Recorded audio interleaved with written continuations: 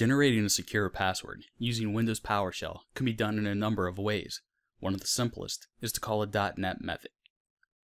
The .NET method, system.web.security namespace, with the class membership and the generate password method, will generate a random password of specified length. This requires two parameters in order to function.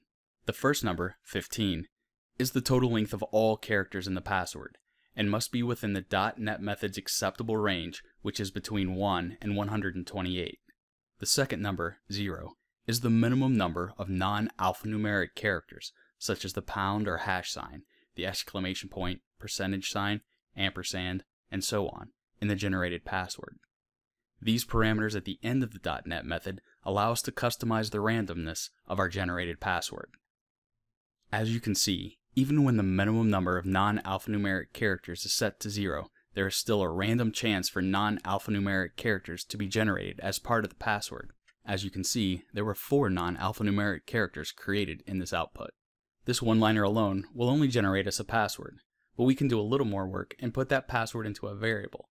It will then become much more useful to us. First, let's create a variable for the password length. Next, let's create a variable for the non-alphanumeric character arguments. And finally, the variable to hold the created password itself. This command behaves exactly as before, however now it's self-documenting. When we later review this code, the variable names will tell us its function in the parameters. Let's test the .NET method now that we've put it into variables.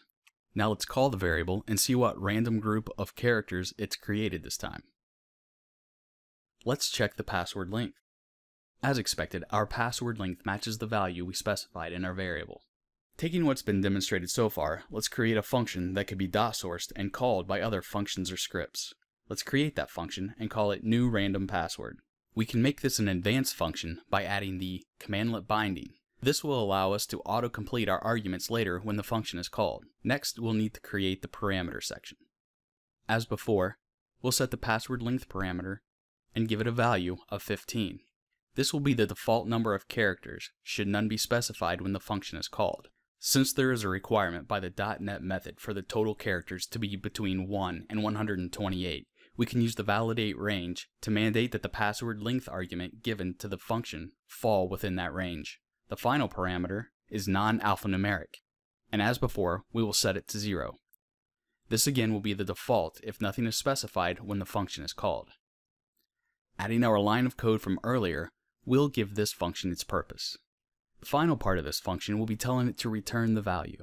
Let's see just how to use our newly created function in action. First, we'll execute it. Now let's create a variable to capture the function output the first thing we need to do is call in our newly created function. Utilizing the advanced functionality that we built in earlier with commandlet binding, we need only begin calling the argument and we will get autocomplete options. Let's set the password length. We set our default character length to 15. Let's specify the value of 18 as our password length. Next, let's specify our non-alphanumeric value. Since we already have a default value of 0, we'll set this to 1 which will guarantee that at least one non-alphanumeric character will be generated. Let's execute and then call the variable. Now let's check to see that our function worked. The function worked perfectly and the character length is 18, just as we had specified in our argument when we called the function. Our function is now ready to generate new random passwords for us, and is also ready to be put into its own script or module to be called later. Thank you for watching.